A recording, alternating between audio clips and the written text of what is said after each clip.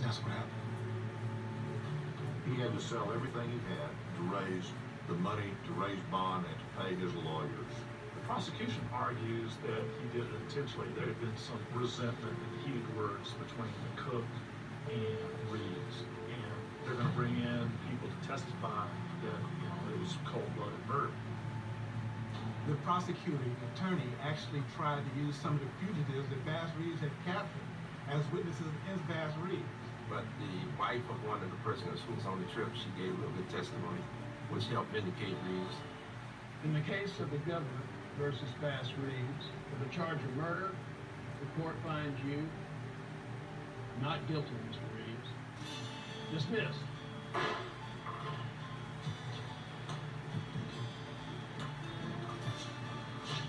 Back to work then? There's nothing I like more, sir. Once again, it was Judge Parker who saved my life.